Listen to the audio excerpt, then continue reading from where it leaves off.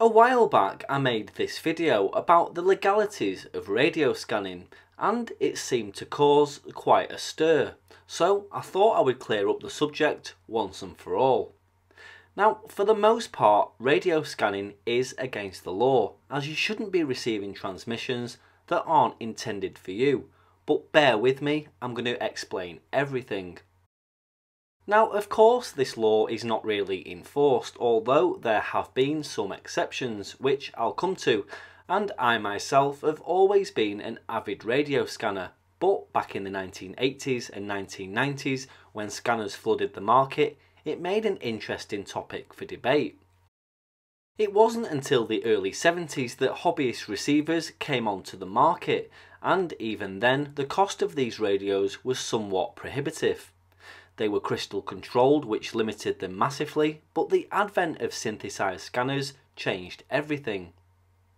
All of a sudden, everything from taxi drivers and couriers to police and government transmissions could be monitored easily.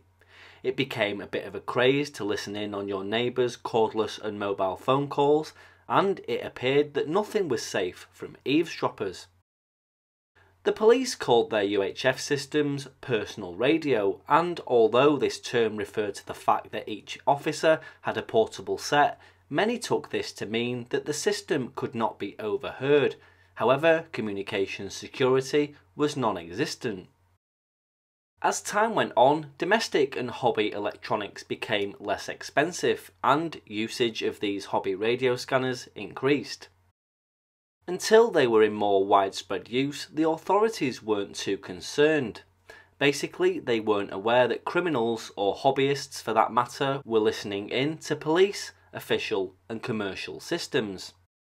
Now, the whole business of radio was governed by laws such as the Wireless Telegraphy Act of 1949, the Interception and Communications Act of 1985, and a statutory instrument which was a regulation and not a law and was known as the Wireless Telegraphy Apparatus Regulations. In short, without getting too technical, this meant that you could listen to authorised broadcasts and licensed radioamateurs only. So, monitoring things such as aircraft, ships, taxis, the emergency services, and all matter of utility transmissions was and still is technically illegal. Then there was mobile phones.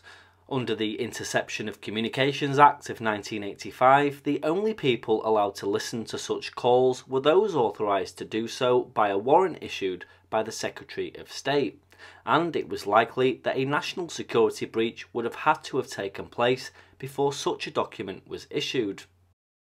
If you were caught, and caught meant taping them, logging the conversation and frequency, and if you had them in the memory banks of your scanner, the law was clear. It said that a person who intentionally intercepts a communication in the course of its transmission by post or by means of a public telecommunication system shall be guilty of an offence and be liable to either a fine not exceeding the maximum or imprisonment for a term not exceeding two years, or both.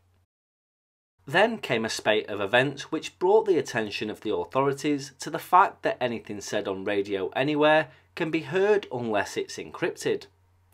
The police were coming across criminals who were listening to police systems and security company radios as part of their business. Arrests were made at the scene of burglaries where as part of the offender's kit was a radio scanner. It was usually found that the scanner had either been shoplifted from the local tandy or had been stolen when a car or house was broken into. Often these sets were not accompanied by their instruction manual, so it was found that some of the frequencies entered were not too useful, but often they had the local police frequencies. Being caught with a scanner may well have caused the police to invoke a clause such as being equipped to commit a crime. If you were out with your scanner and you had the local constabulary's radio channels in the scanner's memory, what evidence could you put before a judge that would make him see you as just an enthusiast? Of course, you'd only raise suspicion walking around with a scanner in your hand rather than an armchair enthusiast in the comfort of his own home. Seizure of a radio scanner could only take place under Section 5b of the 1949 Wireless Telegraphy Act if such a seizure was ordered by a court and on conviction. Now, that took effect in January of 1991, and not a lot of people knew it at the time. In 1993, there was a couple of prosecutions regarding the use of radio scanners for listening to police frequencies. One was at the Kilmarnock Sheriff Court, where the youth involved was fined several hundred pounds and his scanner was ordered to be destroyed. And the other was in Manchester and involved an unemployed man who was unfortunately fined £200 plus £30 in cost. Now, a police officer reportedly said at the time, we prosecuted a scanner whaler on my patch last year when the Wally turned up to a shout. Unfortunately for him, he's known to us anyway, so when he failed to give a reasonable excuse for coincidentally turning up, his car was searched and two handheld scanners were found. Most unfortunately for Mr. Scanman, when the officer turned it on, he could hear his mates just down the road dealing with the incident, and when out of curiosity he twiddled another knob, the radio room at Scotland Yard burst forth. Taxi companies in some towns were in dispute over business, and in some locations, so called taxi wars erupted. Usually, these punch ups started when one radio cab company would dispatch a driver to pick up a fare from the local market, only to find a driver from a rival outfit had beaten him to it. This became quite a sport in large towns, and it wasn't unusual to call a cab and have a whole convoy of them turn up armed with CB radios and scanners, all eager for your custom, all because they were listening in to each other's calls. Of course, in the main, radio scanning was and still is viewed as harmless fun by most of the authorities, with the exception of the Squidgygate incident involving Princess Diana and shortwave listener Cyril Reenan, and the news story involving Paul Way and national security, which I'll cover in another video. Now, of course, there were good times when radio scanning has been welcomed by authorities.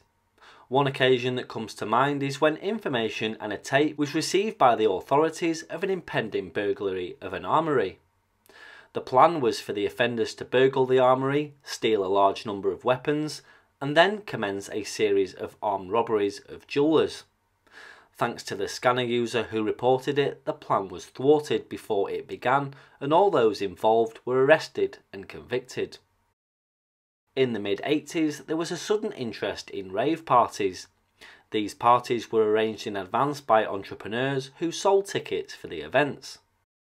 Although flyers were printed as adverts for these pay parties and were distributed to potential partygoers, the security of those running the events was fairly tight they didn't want the authorities to know where and when the parties were due to occur. Now, the police were at a loss, but radio dealt them a winning hand in the guise of scanner enthusiasts. Many scanner users had, over the years, established personal contacts with either police officers or officers of other authorities.